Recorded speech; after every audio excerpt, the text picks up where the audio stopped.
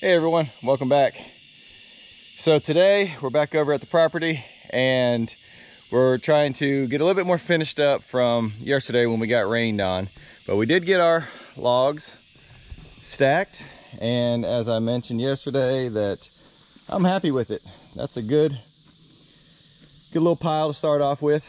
And as you can see, we have some more from previously clearing and we're going to get those cut up stacked up as well. Um, brush pile still there and a brush pile over here. And that's what we're gonna work on today is trying to get this wet brush started. So wish us luck. And we're gonna use um, some little oil to help us get started. Another little trick I'm gonna try is we have some seasoned firewood. Actually, I call it my ugly wood. And we're gonna stack some of that to try to build a little pit of um, and get something started to really help this wet brush uh, get started. So wish us luck and we're gonna get started. All right, so I've got some dried seasoned firewood right here, a little piece of cardboard, um, a little diesel to help, and I'm hoping, I got a few more pieces, I'm hoping that I can get this to start, create a hot enough pit and that it will eventually get the rest of the stuff started. So again, wish us luck.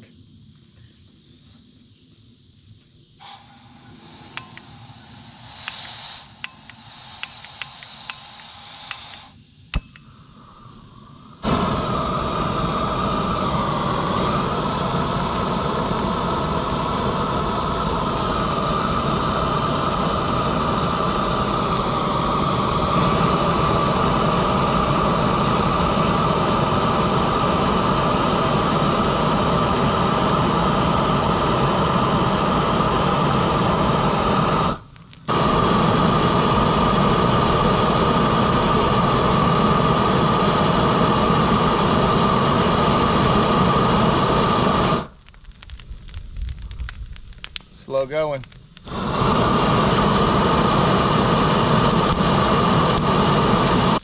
Just went off. Okay, good. So I'm over there cutting some of the uh, branches and, and, and just parts of the trees that are sticking out too far on the burn pile there. And what happened is that the chain popped off. And this is actually the first time that the chains popped off on this saw. But just wanted to take this time to show you that's a great opportunity to clean your saw because it definitely gets nasty in there and a lot of times your oil port will get clogged up and not um, oil your chain properly. But this is another thing that happens when you sharpen your chains on the uh, on the saw itself. You don't you don't take it off. It doesn't give you an opportunity to flip your bar either. So just a couple key points to think about. You want to maintain the inside of that covered right there where your sprocket is and all that stuff because it is going to get caked up with sawdust and oil and your oil port could get blocked clogged whatever you want to call it but um, yeah just a reminder don't forget about this part of the maintenance on your saw.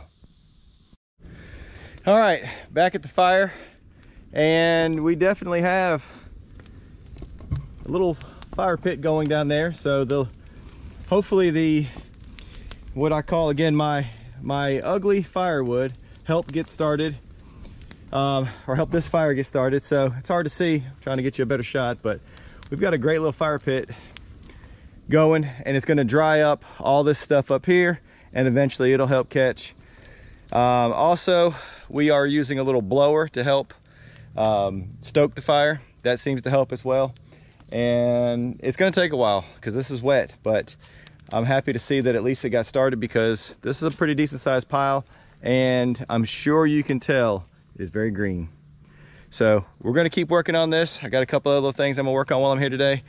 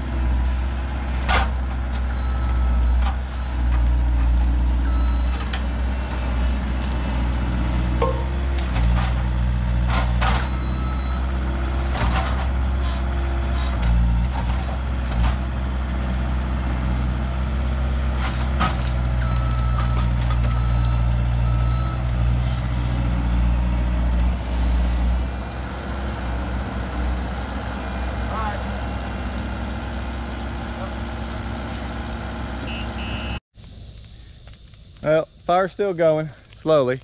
Not quite as fast as I was hoping it'd be. But I wanted to, while I'm waiting on that, just kind of show you my plans for the new firewood yard. And if you watched a couple videos ago, this is what we were working on right here. So again, you guys helped me design this because as of right now, I had this little road in. Let me show you up here, up past the Bobcat and the fire right there, the burn pile is on the other side of that is the driveway coming in and it's going to be 1600 feet, which this is pretty close to halfway mark. So call it 800, maybe even 900. So a little bit further past, but you come on in and you go through here and I was thinking about cleaning this area up, up right up here to store the logs, maybe in the back back there, put the wood splitter, and then just have some staging areas here. Obviously, I'll have to get some road base in here, which I'm hoping that I have to hook up on some recycled asphalt. So I'm gonna try to get some of that in there. It's a little bit cheaper and it's a pretty good base if we want to put anything else on top of it. But we have a lot of work ahead of us because here's another huge um, pile of debris and I'm six foot and it's way above my head. So got a lot of work to do, but we'll chip at it a little bit at a time. This isn't going anywhere. This isn't gonna stop us from getting anything done either. So, but this is the future home of the wood yard. So stay tuned and we will show you little pieces as we can chip away at them. All right, everyone. Well, we are just about finished up for today. We uh, been working on that burn pile most all day, but I feel like we finally just got it going good. So it's going to smolder all night long. And then when our guy gets back here tomorrow to grade, there'll be at least something he can throw some, some more debris onto. But uh, we're gonna take a little ride in the Bobcat here, and I'm gonna show you what the progress looks like so far in the driveway. All right. So this is all we've really ever been able to come into on the property and this is what we've done little by little but this has opened up a lot. Got that beautiful black walnut tree right there keeping it of course. A lot of really nice oaks on the uh, edges of the driveway there and eventually will be a beautiful canopy. Come on through here. Another little area where he's pushed a bunch of debris because this little section right through here was pretty thick. Nothing major, but just pretty thick.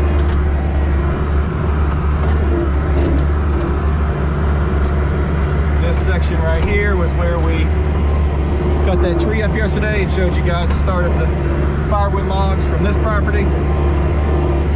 That's the root stump from it. But as you can tell, he's uh, just got started here because this is where we need to open it up a little bit wider. My plans are to have at least five feet of uh, area on each side of the driveway. That way I can have some nice grass area along the along the driveway. I think that's gonna look really nice, but yeah, so this area right here gonna push a little bit more on that side. A lot of these oaks and some of these poplars we're going to try to push off to the side and use for firewood. But I just wanted to show you what it looked like. All right, so the SD card was full on my GoPro. So I'm gonna finish this up with my phone. But here's the uh, Here's the machine that he's using. It's a CAT 931C and I haven't been able to see a lot of what he's been able to do with it. My dad's actually come by and watched him for a little bit and he said that he is pretty good with this machine. But yeah, a little bit older, but seems like it's going to do what we need it to do. But here, let me show you what, what we've got so far on the home site. Here's what, um, kind of where the driveway stops. But let me show you. So that's coming down the driveway. His machine is going to be, that's gonna be driveway opened up right there. It's gonna come along through here. All this is gonna be cleared out. And then we go to where the home site's gonna be. And he came through here and did one pass. But pretty much from over there to back there, which you cannot tell from this, but just trust me, it'll be about a third of an acre cleared and we may even do more. There's a couple nice oaks in here we're gonna keep for shade trees around the property, but this is really difficult to try to plan what trees stay and what trees go because if you leave one and it's too close to the house, well, it's gonna cost you extra later on to get that removed if you decide the house is gonna go there. But we're gonna do our best to make sure that we keep a couple nice trees and as and always we can plant more. I know it's gonna take a long time for them to get big, but uh, there's another black walnut right there we're gonna keep. And like I mentioned, the oak in the back corner, and then there's a couple small oaks over in the front. But this is gonna wrap up today's video. I wanted to show you guys this uh, while we are working on this weekend. Um, it's probably gonna happen pretty quick as far as everything getting knocked down. So I wanted to take this chance to get some video made up of the property before it's just all opened up and just uh, so we can remember what it looked like before um, everything's pushed down and burned and uh, one day we'll start building. But we got a lot of great plans, uh, a lot of high hopes and uh, and we hope that you guys will follow along with us on this journey. Watch um, how we can develop this and see the things that we learn. Hopefully we can teach people who are maybe doing the same thing um, a few tricks um, and, and save you guys some, some trouble there. But as always, uh, think about subscribing to our channel, hit the like button, share our videos, and we'll see you on the next one.